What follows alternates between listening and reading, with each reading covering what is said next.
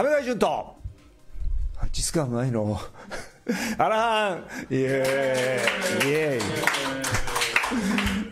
イ。皆さんこんにちは、えーいつもとねこう様子が違うことをね皆さん感じていただいていると思いますけどなんといつもはね「八塚前の」っていう元気な舞ちゃんの声が一緒に聞けるんですけどまあ舞ちゃんね早めの夏休み取ってしまいましてなあの夏休みね皆さんこう順番でやっぱりこういうねあのプレマさんのキャスターさんもそうですけど順番に取らないとねずっと放送やってますから取れないじゃないですか。でも早めの夏休みを取った時にアラハンが順番で来てしまいまして。皆さん申し訳ございません。舞ちゃんファンの方とかね舞ちゃんのあのあれを楽しみにしてた方本当に申し訳ございません。でもね夏休みやっぱりねあの順番に取らないとやっぱ体も参ってしまいますしね。自分も明日明後日とね空手道航空会は1年にね、な2回ぐらいかな、2回のぐらいなんて言ってちゃいけないですね。2回、あの、昇級商談審査っていうのがあってですね、冬と夏にあるんですけど、明日、明後日ね、夏の昇級商談審査があって、それが終わったらちょっと休み取れるかなとかね、取れないかなとかっていうことでね、街でなんか、マネージャーがダメって言ってるような顔してますけどね。まあ、もちろん、あの、夏休み、どっか、どっか、どっか行ってんのかなた楽しんできてくださいね。来週は戻ってきてよ。ね。はい。ということで、今日は、為川淳、えー一人で、寂しいですけど、お届けいたしますので、ぜひ皆さん、応援のほどよろしくお願いいたします。はい、えー、暑いですけども、今日はですね、また暑い日と空手家ですから、自分ね、今回は、えー空手の達人、えー実は実在と皆さんにも、ね、告知したんで実在と架空の2人の宮城というね、えー空手家の方々にとっては宮城という名前はもうね、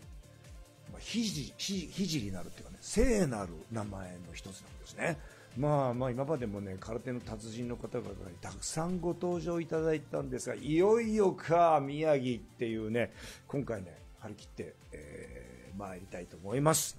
はい、えー今日のだ、まあ、お題はですね。はい。剛柔流空手ってね皆さん剛柔流空手ってね本当に空手の中でも代表的な一大流派の一つなんですけどなんと本土でね空手いろいろ何々流何々流ってあるの皆さんご存知だと思うんですけど何々流って流派を名乗ったのは剛柔流が初めてなんです。その開祖であられる名乗られた開祖であられる方が宮城長純先生という方なんですね。はい。そして「と」って書いてあります。皆さん映画、ねあのーアメリカとかではね、えー空手キッドってそのまま空手の、まあ、子供。キッドっていうあれなんですけどベストキッドという名前で日本で公開された大ヒットしました。映画があります、ね、1984年に制作されて日本で大ヒットした。それに出てくる主人公の、まあ、男の子1から3までは男の子、え4は女の子の師匠のミスター宮城こと達人宮城成吉先生という。方これ架空の、えー人物なんですけども、えー、紀之パッド森田さんというね、俳優さんが、えーその役を宮城ミスター宮城を務めたんですけどなんとこのベストキッドの中では、えーこのミスター宮城いわゆる宮城成吉さんは剛柔流空手のその宮城長純先生の血縁の子孫にあたるという設定で達人を演じられているんですね。このお二人が残された言葉がまた深い。今日はね、そこにスポットを当てて、旅立ちを張り切って、えー、二人の宮城を紹介したいと思います。はい。ベストキッド、まあえー向こうでは空手キッドというね、こういう映画です。はい。えー1984年、先ほど申し上げましたけど、から4作にわたって作られた、空手を題材にして作られたアメリカ映画です。パート1から3まではこのダニエル君っていうねこの男の子が主人公。この子はいじめられっ子の男の子。パート4はあったかな写真がねあったと思うんですけど、ね、紹介しますね、うんパート4ないじゃん。用意したんだ。あれ？あれ？あれ？あれあった。ありましたね。パート4はこのミリオンダラーベイビーっていうこの間映画スペシャルでねご紹介した主演の女性をやったヒラリー・スワンクさんがまだ少女だった頃ですね。ね、これがまた出世作になったようですけども、えー、ヒラリー・ソンクさんはね、後にアカデミー賞とかね、主演女優賞とか取られてますけど、この宮城先生のね、頭にこんな風にしちゃってますけど、ね、えー、パート4ではこの、えー、女の子、両親を事故で亡くして心がすさんでしまった女の子の役を演じているこのヒラリー・スワンクさんに、えー、実はこの空手の達人、宮城先生が空手を通じて、なんとその道ありませんかじゃないですけどね、ほとんどね、ベストキッドって素晴らしいなという傑作だなと思うのは、えー、この道をね、解くことにね、えー、宮城先生がね、え、本当にフォーカスした、え、そういう映画なんですね。その子たちが抱えている問題に共に向き合って解決して成長させる、そういうテーマが抜かれているこのベストキッド、空手キッド。はい。えー、自分ね、あの、これ単なる空手アクション映画じゃないとこがいいなと思う。あのね、見るとわかるんですけど、まあ、ゴージュル空手の、あの、ね、方々もそうだと思いますし、空手やってる方々ね、空手アクションは下手だなと思うんですよ。なんか、で、日本の描写もへんてこだし、まあね、そこがね、だからこそ、実は、空手の動きそのものをこう売りたいっていうんではなくて、その背後にある精神性みたいなね、そういうものを浮き彫りにする手法が取られてるんだなというふうにね、よくわかるんですね。ですからね、空手のアクションがあえてね、なんかこう派手なね、こう動きとかない、そういう手法が秀逸だなというふうに思います。そこにね、この空手キッドっていうこのベストキッドっていう映画のね、えー、真骨頂があって、はい。空手の心の部分に、えー、表現が当たって、スポットが当たっている点、もう下手なね、格闘映画よりもより空手を表現しているのでは傑作なシリーズだと思っています。はい。これもね、もう空手の方が、ね、こう非常に、えー、出ているシーンでございます。はい。えー、そして、えー、ここからはですね、ミスター宮城の先祖である、この方が、宮城長順先生という、えー、先ほども申し上げましたけど、豪十流空手の開祖です。ね、豪十流空手、この、えー、ミスター宮城は架空の人物ですが、この宮城先生は本当にこう、えー、豪十流空手を開いた実在の達人です。はい。1888年、明治21年、ね、えー、に、もう明治ですからね、うん、大正時代にね、空手が本土に初めて入ってきたっていうお話を船越美珍先生の時に申し上げたんですけど、明治21年、明治それよりもちょっとね、えー、前に4月25日に沖縄県那覇市で生まれておられます。14歳の時に那覇手というね、那覇手っていうのは首里城の首里とかね、那覇、那覇市の那覇とかっていうことでそういう名前がついてますけど、ま、あの、プロデューサーのね、50流空手の達人の小倉先生からすると、首里も那覇もすぐ近くですからねっていうことで、なんか、そんなにね、あの、かっきり分けることはないんですけど、でも、まあ、いわゆる手法がね、多少違う首里手と那覇手というものの、那覇手の大家、達人である比嘉女官僚先生という先生に14歳で弟子入りします。そしてその後、中国の南部ですね、南部です。福建省の福州というところに渡って、中国のね、北県と南県っていうのがあるんです。えー、揚子江より上では北、北側です。北側は北県とって北の拳です。そしてそれより下の方ですね、は南県といって南の拳と書くんですけどね。まあ、空手というのは、どちらかというと南県の南の方の憲法の影響が強いというふうに言われています。ねえー、福建省本場にわたって中国の南県を次々と宮城先生習得されて戻ってまいります。さあ、豪といってね、硬い方です。豪十っていう豪十流は豪っていうのはふっと硬い方。十というのは柔らかい方っていう、この二つをちゃんと含んでいる。ちゃんとその体験の中に含んでいるという願いを込めて豪十流というふうに名乗ったとされていますが、実はね、あの、豪のから鍛錬が立てるので、三時で、呼吸法も独特のもんなんですけど、ほーっていう、えー、こう体を締めていく。そして、それが豪の鍛錬型三時。そして、えー、自分のね、えー、体保護会でもこの産地も取り入れて鍛錬をさせていただいてるんですけど天正というね今度はねこう小を柔らかくねこう使っていく天正という鍛錬型これが10の鍛錬型と言われています。これこの2つを、代表的な合重流の方をいわゆる創作というか創出されるんですね。宮城先生が、えー、それが後に空手という武道に多大なる影響を与えたというふうに、えー、言えると思います、はい、1927年昭和になります。昭和2年になって、えー、かねてよりもうこの武道偉人列伝でもご紹介させていただいたんですけども柔道のね、えー、まあ言ってみれば外言われ言われている加納治五郎先生覚えてみますかね皆さんね柔道のね、えー、加納治五郎先生っていうもうかねてより空手にね強い関心を持たれていたんです。でその空手をねまた視察に沖縄に、えー、1927年昭和2年に沖縄視察に行かれています。その際宮城先生ほか、えー、数名の先生方が見せた演舞に痛く感心されてですね本土でぜひまあ、その当時は東出といってね空手っていうのはあの唐唐草模様の唐に手というのは武術というんですけど、まあ、文字通りねそのまま直訳すると唐は唐は中国ですから中国武術と。か中国憲法とかっていう意味なんですけど沖縄では東出と言われたこの、えー、後に空手っていうふうになるものの普及を、まあ、宮城先生に要請するんですね。ぜひ本土で空手を普及してもらいたいということで、まあ、その当時ですね沖縄では実は、ね、なんか皆さんこれは意外だと思われると思うんですけど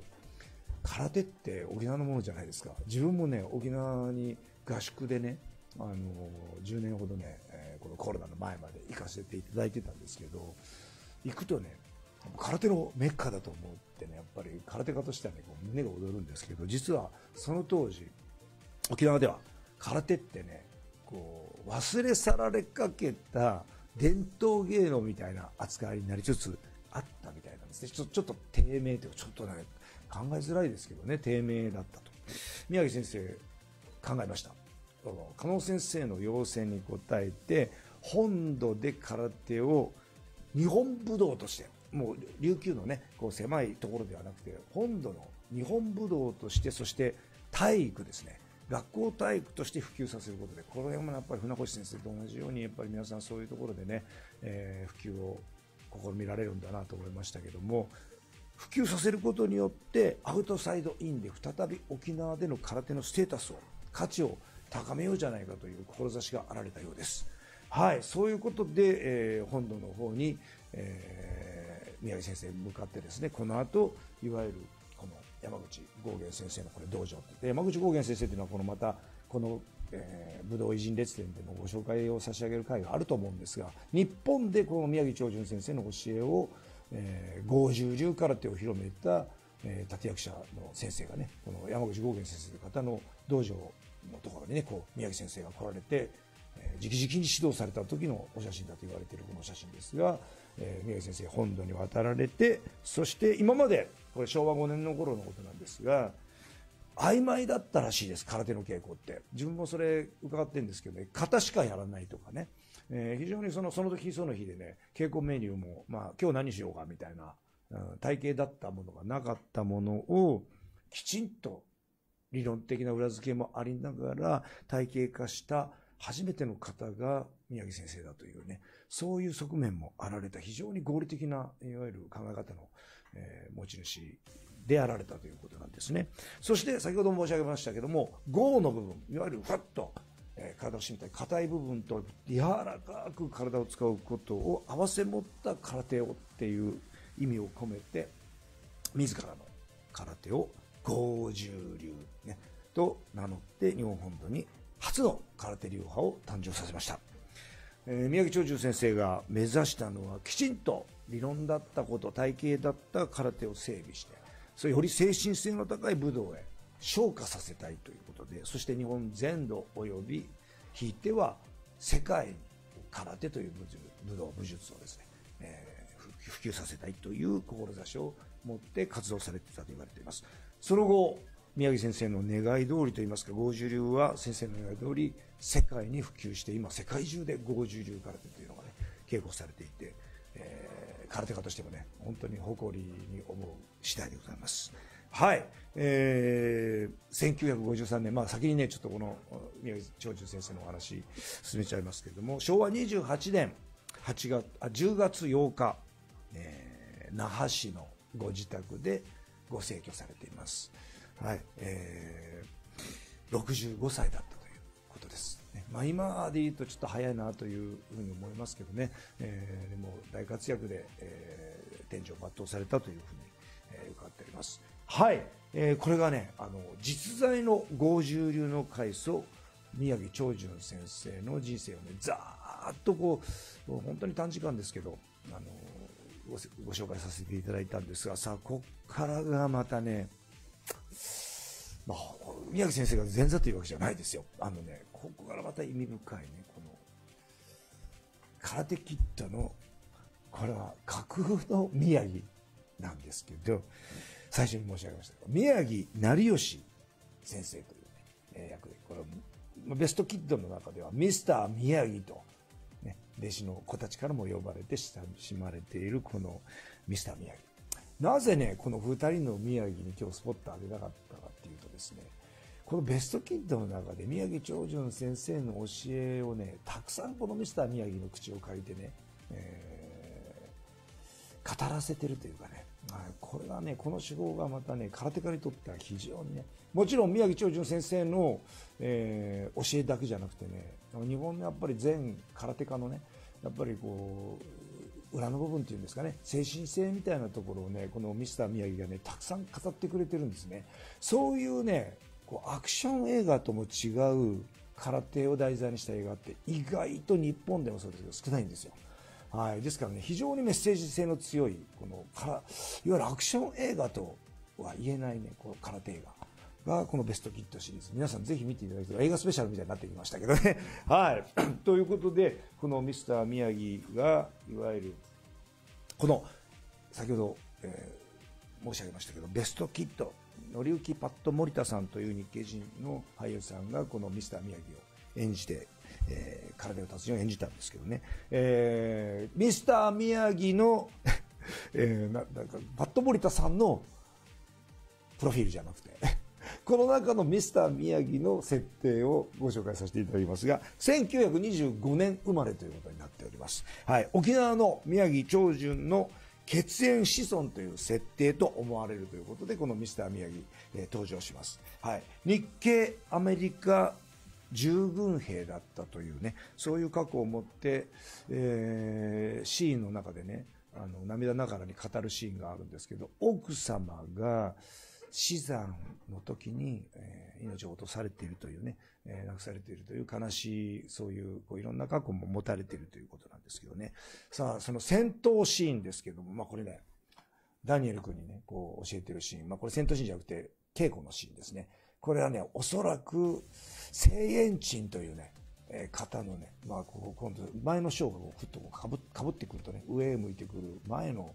シーンじゃないかなと思うんですけどね、まあ、あのそのままではないかもしれませんけど、聖円鎮という方々こう出てきたりね、先ほどの天正、三鎮、空手やられてる方々はね、こうもうよく耳にされるような、ね、方がね、やっぱり、まあ、あの、本当にやられてる方にとってはちょっと下手とかね、いろいろ意見があると思いますけど、この型時代が出てくる型をね、こう中心に、その原理で戦おうとするということの描写もね、こう空手家としては非常にこう素敵な試みだなと思う次第なんですね。はい。えー、五十流空手の先ほどの宮城長寿先生が、えー、起こされた五十流空手というのはですね、えー、先ほど言いましたけど、中国の南の方のね、いわゆる空手のね、ルーツとも言われている八角形って白い鶴です。八角剣という、えー、武術があるんですけど、ね、中国武術があるんですけどそれの影響が濃いということでなんとね長寿先生になられてから多分ねあんな形ではそのままやらなかったと思うんですけどね稽古の時にねこう こういうね八角剣のねこう白い鶴がこうなって片足でねこう立ってるようなねでそういうトレーニングシーンが出てきたりとか実際最後のねトーナメントの時にね足を痛めてねその片足になってねこう二段蹴りでこう当たるかそんなのみたいな風な方も多いでしょうけど、いや、それは一個なしにして、非常にこう、空手の描写をね、えー、工夫してるなということでね、えー、戦闘シーンでもね、えー、派手なことやりません。ほとんど。実は、野行パッド森田さん、空手できないんです。それなのに、宮城先生という達人を演じてるんですね。そこがまたいい。派手な技じゃなくてね、今自分もね、だいぶ年取ってきましたので分かってきたんですけどね、派手なことやってきてね、だんだんだんだんね、無駄をなくしていくとね、本当にね、すごい動きは小さくて最大の効果を上げる。これをね、宮城あの宮城先生が、まあ、言っては、パッと森田さんが空手知らないためにね、それがね、こう、いい意味で描写されちゃうっていうようなね、はい、そういうシーンもありながら、でもね、あの、空手の方々と分かるでしょう、後屈立ちにね、後ろの足にこう体重を乗っけた構えをね、見せてみたりね、トレーニングシーンで先ほど言いましたけどね、こう、そのままのね、こう、肩をやったりとかね、非常になんかね、空手家としては、あーってにやりとするような、デフォルメもありながらっていうことですね。はい。そして、この空手キットの中で宮城先生は、重要な空手の意味や教えを散りばめた言葉を残されています。はい、今からね、宮城先生の言葉をね、えー、紹介していこうと思うんですけど、これね、今日はこれがハイライトなんです。はい、ミスター宮城の言葉。ダニエルさんとかね、ジュリーさんとかっていう、まあ、キッドたちに、暴力では何も解決せんよ。これね、空手ってやっぱり具体的には誤審ですから、打ったり蹴ったりね、えー、投げたりとかね、そういうことを勉強するにもかかわらず、暴力では何も解決せんよ。これはね、アメリカ人の男の子やね、いじめられっ子ですから。か心がすさんじゃった女の子にとってはね、その、わからないわけですね。どうして空手をやってるんだから、その力で解決するために空手をやるんじゃないかといういわゆる、まあ、直線的な考え方というんですかね、単独で。ここにね、えー、暴力で何も解決せんよというね、謎かけというか全問答のようなことを、やっぱり、宿題で投げるんですね。で、最後のだんだん分かってくるんですね。はい。今ね、ベストキットの続編といえるね、コブラ会というのが、ネットフリックスで大ヒットしてるらしいんですけど、アメリカでもね。いや、そこのね、この暴力では何も解決せんよとかね、えー、この次の、これ出てくる言葉、空手は防御のみに使う。はい。自分空手に先手なしっていうね、あの、あれを掲げてやってるんですけどね。本当にこれはよくわかるなというね。ね攻撃のみが、特にスポーツ競技だと、えー、ポイントになるじゃないですか。攻撃のみのポイントですよね。評価ですね。でもね、空手は防御のみに使う。それは戦いにならないじゃん。いいんです、それで。合気道なんかもそうですけど、攻撃技がね、ほとんどなくて、防御から入る。空手の方も防御の動作から入るっていうことがね、これを表しているんですけどね。ね自分からね、戦いを仕掛ける必要はない。来たものを確実に防御するというね。はい。あの、自衛隊のね、友達がいるんですけどね、そういう話になるとね、これ自衛隊の理念と同じですよね。専守防衛。まあいろんな意味でね、この武道っていうものの深さをね、この暴力で何も解決せんよとかね、えー、空手は防御のみに使うとかね、こういうことがね、こう散りばめられてですね、そして何事も全てバランスだよっていうね、言葉も残されています。はい。バランス大事ですよね。皆さんね、いろんな意味での、報告会のね、マークってね、陰と陽のバランスのマークなんですね。えー、そういうやっぱりバランス感覚って非常に重要だよねっていうことも残されたりね、皆さん、こう打つんだ、ああ打つんだっていうことをね、確かにそういう場面もあるんですけど、ワックスオンだ、オフだとかあるんですけどね、あのー、こういうところにね、宮城先生の教えがね、えーたくさん残されているんですね。そして次です。量よりも質を大事にしなければよくはなれないよっていうね、はい、量っていうのは、ねまあ、もちろんたくさんの知識とか、ね、たくさんのいろんなことを持っていてもそのクオリティですね質が良くなくては、えーまあ、良い良い人生や良い人にはなれないよっていう、えー、ことを残されています。さあその下自分の感情に負けてはたとえ相手に勝ってももっと大きな負けだよっていうねこれも意味深い意味深いですよね。自分の感情に負けてはたとえ相手に勝ってもです。ねもっと大きな負け。になるという。はい。これ皆さん意味深くて考えねもう自分なんかもなるほどなっていうふうに今今更川が飲まされてるんですけどね。はい。なんか国旗の精神とか自分に勝てってやっぱり武道って言うんですけどね。自分に勝つってこんななるわけないですよね。やっぱり、えー、自分のいわゆるいろんな意味での心や、えー、自分という欠点とかねいろいろ皆さんあの抱えてる問題というかそういうことに勝つために心身を鍛えて磨いていくっていうこの意味深い言葉も残されています。さあまだまだ、えー、心の奥底にあるものが自分の真の姿だよ。あのねやっぱり人間ねみんなちょっと飾っちゃうことないですか？なんか人から見た自分とかね。自分もこうありたいという自分を気取ってしまったりとかなんかこう何らかの形でこう衣着ちゃうじゃないですか。でも本当の自分っていうのに向き合ってみる時間って大事だなってこの頃ね、まあ、ちょっと年食ったのかな思うんですね。でそうするとね心の奥底でこうなんか本当は自分ってなんか何望んでて何考えてるんだろうっていうね何を求めてるんだろうっていうことがねこう自分なんかは牧草という手段を使うんですけどね目をつむってね、えー、静かにこう座ると、まあ、座禅の一種ですけどまあ、それをしたり瞑想をしたりするとねこうここに到達できる時があるんですね。ああ俺これを本当は追いかけてるんだなっていうこの真の姿というのは、まあ、本当の本音の自分っていうかねねそこのところと向き合ってもしそれがなんかあんまりあの修正した方がいいなとか、えー、それともこのままなんか曇らせずに頑張るべきだなとかね真の姿だってこれよくね、ここの教えわかるんですね。さあ、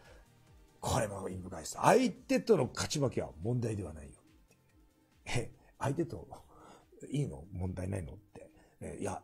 自分に勝つっていうことでしょうね。ね、何に勝つのか考えなさいっていうこと。そして、これね、ここがね、これ、航空会ではね、地状況というね、まあ、またゆっくりお話しする機会もあると思うんですけどね、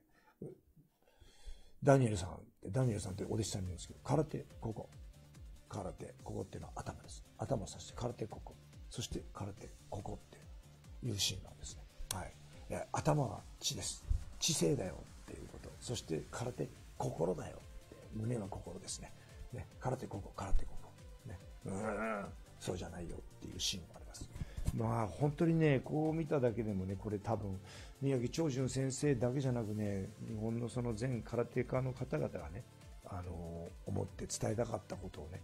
意外と欧米にはそういうことが伝わりきれていないところが、えー、スポーツ化されたことでね、やっぱりこう置いてきぼりになっちゃった部分も含めてですね、空手キット、まあベストキットでね、えー、お弟子さんへの言葉としてね、宮城宮城先生が、残された言葉。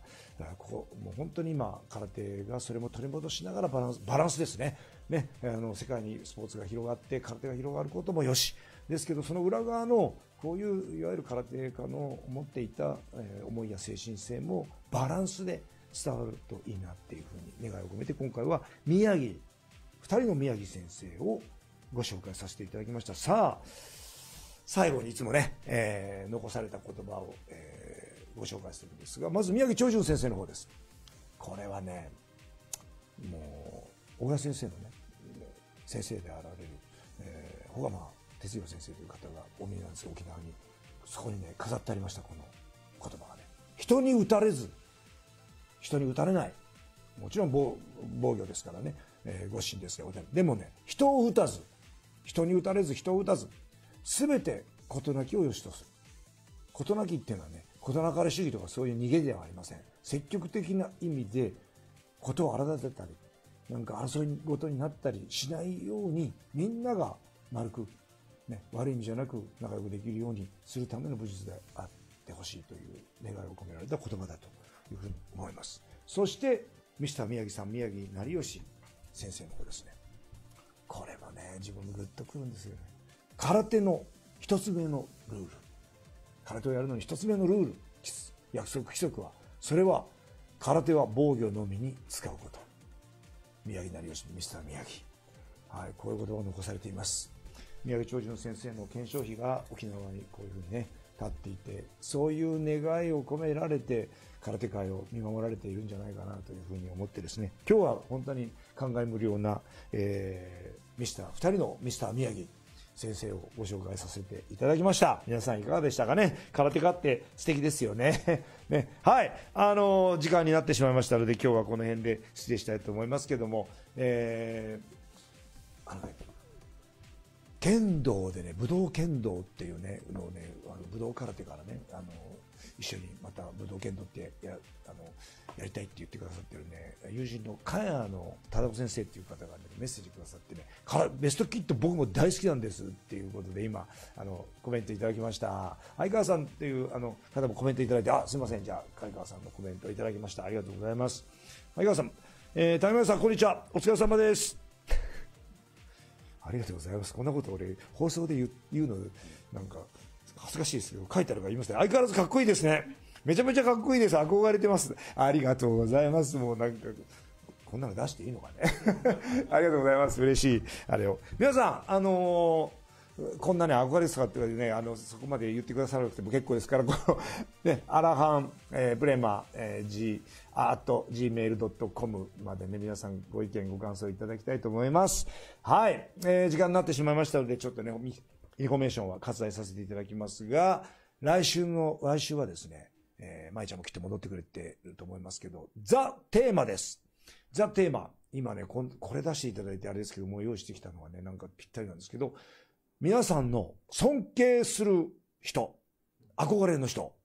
というテーマで皆さんからどしどし、例えばお父さんを尊敬してますとかね、会社の上司の方とかね、いろいろあられると思うでしょうけどね、えー、そういうテーマで皆さんから募集したいと思いますので、ぜひ皆さん、どしどしとこちらの方にメッセージお待ちしています。はいそれでは今週はこの辺で失礼いたしたいと思います。為貝潤と立ちつか前のアラハン。また来週!